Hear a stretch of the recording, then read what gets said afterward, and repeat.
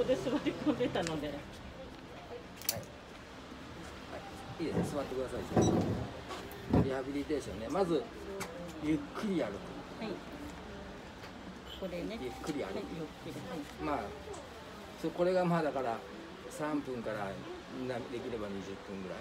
はいはい。急いじゃうとさ使わないからリハビリにならないんですよあそうですね。で3本。筋力が落ちてるのにこの足のところがね3本足立ち。はい。要は1本浮かせて3本で立つ。はい。でこれも1秒から10秒ぐらい。えだからだんだん長くしてそう 4, 4パターンありますよね。左上げる右上げる。ええ。え次に。立ってるかねそんなやろうと思ったら。2本足立ち。これも1秒から10秒ぐらい。前だけよよ左足だけあはいはいそれからあと前ははこういいけど後ろはちょっと難しいね、うん。こうやって後ろは。できる範囲でいいですよ、はい。で階段のあの登ったり。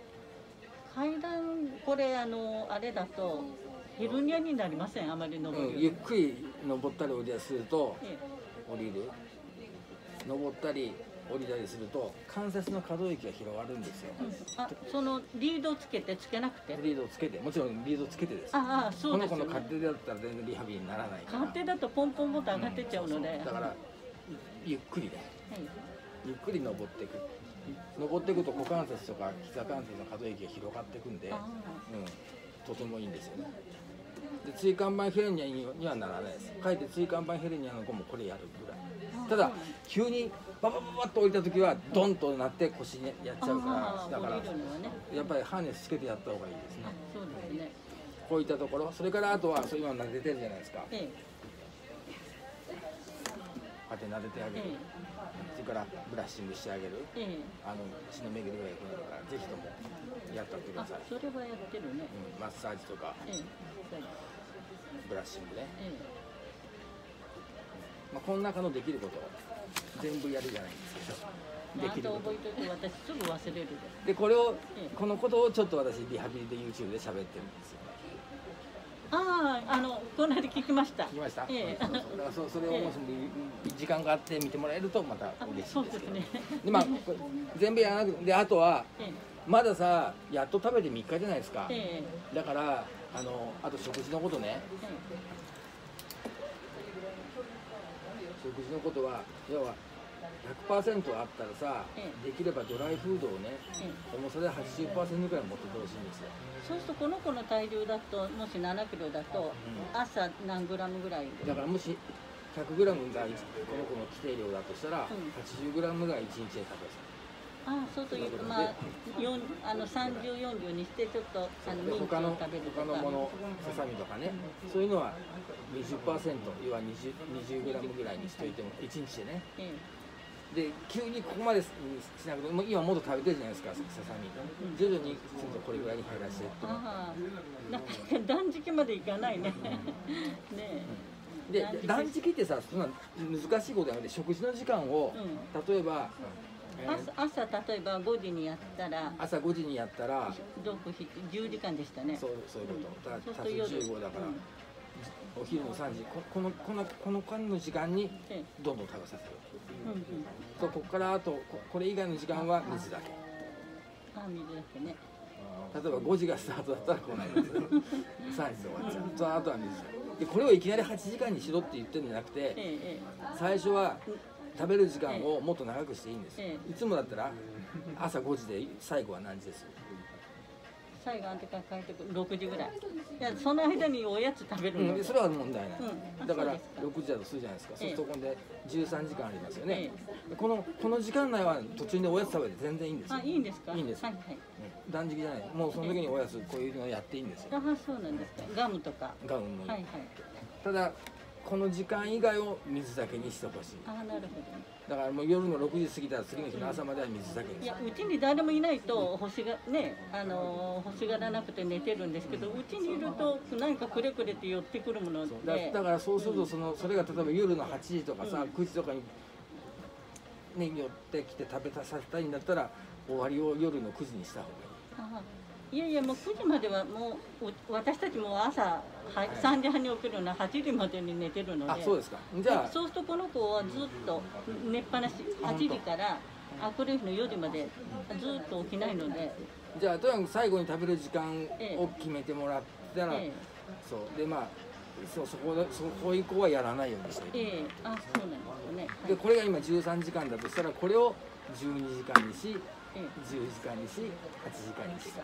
そうするとだんだんだんだんこのこっちがどっちかを遅らせるか早くするか。そうですね。うち何時ら早いからね起きるのがじゃあ5時を基準にして、はい。だんだんに6時だったのを最後5時にし4時にし3時にしてあそうやってはいしていけばえいけるかなとそそれが断食えなんです。結だから構ねかなりドッグフードをねね食べ出す必要になったからいいかこのなとこの思って。この時間内はねうん。この時間内は間に何回食べてもいいんですよ。あそうですおやつやっていいんですよ、うん。どんどんおやつやってください、えからあとその食事内容のバランスとしてはドライフードをなんとか80%でささみとかジャーキーとか、ええあのガムとかそういったのをえ20% 60%ぐらい。になるようにしてとにかくそうすると多分ね脂肪が燃えてくる。あそうですか。そうすると今度筋肉が増えて脂肪を燃やしあ人間でもそうですね。脂肪を燃やして筋肉をつけなさいとよく言われるのでそうそう整形でその筋肉をつけるためにはそんな無理な運動しちゃダメだからゆっくり歩かせてこういうのをやっていただけると筋肉もつやっぱり散歩は大事ですもんね。散歩大事、ええ。それからあともう一個ね。筋肉をつける食べ物。えつけやすい食べ物。えなんかタンパク質っておっしゃってたもんね先生。そう。あのもちろんタンパク質大事。だからささみ、ええささみ。ささみタンパク質はい。ささみとかお豆腐とかね。そういうのをちょっと混ぜるのいいですよね。豆豆腐、あ豆腐もいね。うん、いいですね。が魚もいいですよ、うん、タンパク質あのあれあれはどうですか？あのなんかトマトとかそういうの、うん、それでそれ以外に筋肉を作る野菜っていうのがあって、うん。かぼちゃはいあちょっと癒やしいね。ねかぼちゃブロッコリー？あげてなかったかな。ありがとうありがとう。人参？癒やしいんだ。それか。らあ人参キャベツは。しいたけはい。この4つの野菜はねええ筋肉を作る成分が BCAA というアミノ酸がたくさん入ってるんですよ。あなるほどね。でこの BCAA というアミノ酸っていうのはあの筋トレする人がさええ。時々飲んでるでしょ？飲みながら筋トレするんですけど、うんうん。アミノ酸を。ええでそのその成分ってこの BCA バリンロイシンソロイシンというアミノ酸が飲んでるわけなんですけどあその成分がこの食材にはよく入ってます。だからかぼちゃとかブロッコリーとか人参こういったのをちょびっと食事に混ぜてあげると。かぼちゃブロッコリーね私たち好きで食べてるけどこの子にいかんと思って。いやいいですいいです。味さえつけてなければ。ああいや少し食べるかどうかわからんね分からんけど、うんまあ混ぜれば多分食べるような気がするんですけど、ええただくれぐれも全体の8割はドライにしとい ドてちょこっとね。20%の中にささみとかこういうだから量を上げすぎんようにしようでほしいんですで分かりやすいのは人参食べるかって人参たくさんやっちゃうとうんちに人参出てきちゃうからね消化しないで。そうですか。ほんなあのうさぎじゃないね。そうそうそう。だからこういうタンパク質とこういう野菜もねちょろっと入れてあげるといいあ野菜のね。で食べる時間をまあとりあえず朝の5時から夕方6時まで、はいはい。だんだんにこの時間をちょっと終わりを早くしていってあもらうと。はいそれがそれがプチ断食って言って、ええ。その本当の本格的な断食をしはしなくていいんですけど。あーあそうです全然もうその10時間食べさせたらいかんのかなといやだからこの思ってたんですこのけど13時間でまあ、はい。い、ずれは8時間でその間はええ。どんどん食べていいであす、そうですか、はい。ええただそれ以外の時間ない時間を作る。それどうええいうことかっていうと12時間食べない時間を作るとですね、う僕らでもそうだけどワンちゃんもそうだけど、ええ体が飢餓状態になるんですよ、うん。そうすると血の巡りが良くなって、ええ各内臓臓器の働きを高めようとする。自然の働きがあるわけ。それを利用して、ええそうすると血流が良くなれば、うん。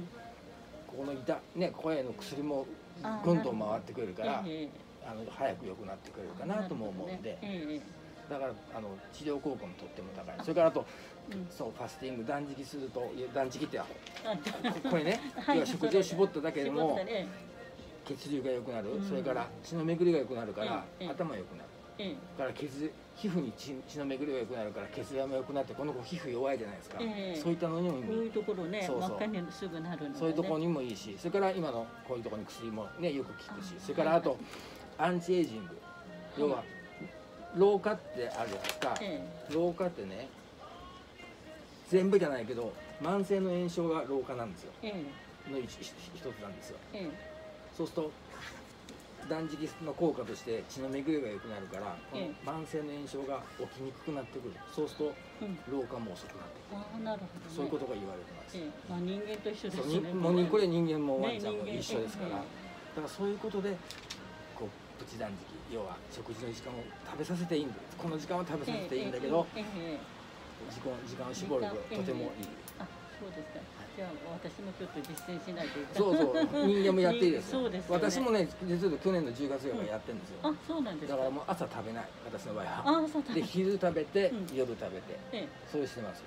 だから夜の終わりの時間が遅いもんですから、ええ。スタートが遅いんだけど、うん。で8時間の間だけしか食べないようにしてるんですよ。あね、そうなんですか、ね、そうするとねなんかお腹もちょっとへこんでちょっと体重も落ちてきたようあな気もえしますね、そうなんですかね。でななるべくええ。タンパク質が大事だから、ええ。タンパク質取らなあかんから人間の場合だとね売ってるじゃないですか。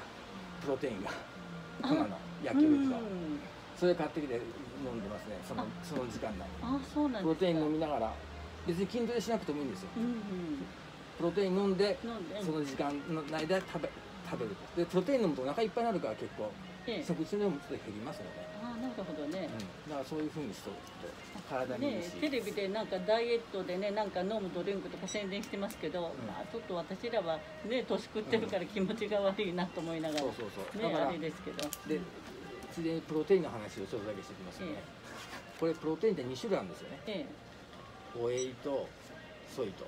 ええ。どういうことかというとホエイっていうのはホエイプロテインって動物性でソイは植物性なんですよ。え植物性ね。でどっちがおすすめかとホエイの動物性のプロテインがあ動物性のプロテイン、うん。でこれをまあ何グラムだったかな。これ人間の話ね。21g を2回ぐらい、ええ。2回か3回ぐらい。その食食の時間食べていい時間にお水で溶かしてんの？あそあ売ってるんですかねそれ。そう薬局に売ってますよ。あそうなんですか。あちょっと今だから参考にさせてもらってね私もちょっとあれしないというか、うん。ダイエットしないと。ぜひやってください、ねあの膝とかね腰に負担かかってくる。そうそうだからあの体のちょっと余分な脂肪を燃やしてあげた方が絶対膝とかのね人間にもいいし、すねええ。内臓の働きも良くなると思いますし、ええ。いいんじゃないかあなとありがとうございます。